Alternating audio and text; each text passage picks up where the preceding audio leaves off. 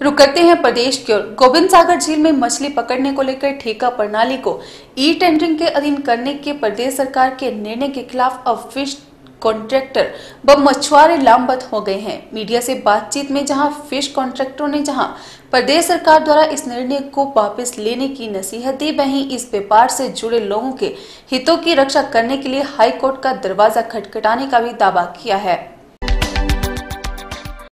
भाखड़ा विस्थापन के बाद जहाँ गोविंद सागर झील में मछली पकड़ने का कार्य सहकारी सभाओं के माध्यम से विस्थापित परिवारों को सौंपा गया था तो वहीं लंबे अरसे से फ़िश कॉन्ट्रैक्टर ईमानदारी के साथ कार्य कर मछुआरों की आमदनी का भी सहारा बने हुए हैं। वहीं अब मछली पकड़ने को लेकर ठेका प्रणाली को ई टेडरिंग के तहत करने के प्रदेश सरकार के आदेश के बाद फ़िश कॉन्ट्रैक्टरों सहित मछुआरों में रोष देखने को मिल रहा है। वहीं बिलासपुर में आयोजित एक प्रेस वार्ता के दौरान फ़िश कॉन्ट्रैक्टर और मछुआरों ने सरकार के इस निर्णय को विस्थापितों के विरोध में बताते हुए मछली व्यापार से जुड़े कई लोगों के रोज़गार पर खतरा बताया। वहीं फ़िश कॉन्ट्रैक्टरों का कहना है कि आने वाले समय में प्रदेश सरकार पूर्व में कार्य कर रहे फ़िश कॉन्ट्रैक्टरों के खिलाफ कदम उठाते हुए ई टेंडरिंग को तवज्जो देती है तो सभी कॉन्ट्रैक्टर मिलकर हाई कोर्ट का दरवाज़ा खटखटाने को मजबूर होंगे। फ़िलहाल सभी कॉन्ट्रैक्टरों को मछुआरों द्वारा जल्द ही एक मांग पत्र, बिलासपुर उपायुक्त राजेश्वर गोयल के माध्यम से बीजेपी राष्ट्रीय अध्यक्ष जेपी नड्डा,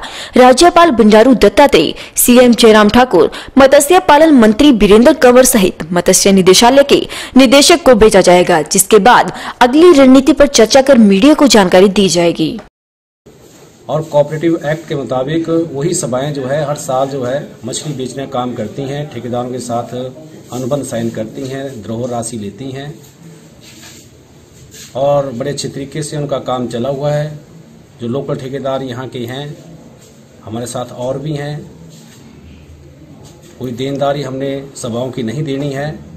लेकिन ना जाने क्यों मत्स्य विभाग जो है इस काम को जो है ई टेंडरिंग के ज़रिए करवाना चाहता है और अपनी चहेती कंपनी को, बाहरी कंपनी को यहाँ लाना चाहता है, जो कि बिल्कुल गलत है, क्योंकि फिशरी डिपार्टमेंट के पास ऐसा कोई कानून नहीं है कि वो इस मछली को खुद बेचे, खुद इस मछली के का किसी के साथ एग्रीमेंट करे और किसी ठेके, किसी ठेकेदार से जो है वो सिक्योरिटी ले।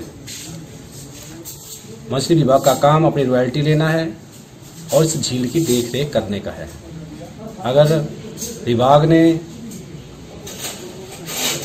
पुरानी प्रक्रिया के तहत इस झील के ठेके नहीं करवाए तो हम जो है इस बात को आगे लेके जाएँगे।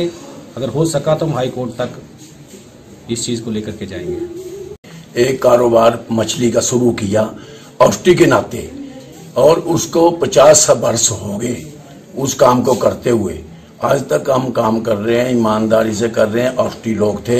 हमारे जो मछुआरे वर्ग है, वो गरीब तबका है, वो भी बेचारा पचास साल से मछुआरों का काम कर रहा है। आज सरकार ने उन मछुआरों को इस पोजीशन में डाल दिया है और ऑस्टी ठेकेदारों को, जो पचास साल से, गोविंद सागर से जुड़े हुए हैं, उनको मुश्किल में डाल दिया है कि आज के टाइम में इस पोजीशन में हम ठेकेदार और जो बूढ़े हुए मछियारे जिनकी उम्र साठ साल हो गई है सत्तर साल के लगभग हो गई है वो कहाँ जाएँगे?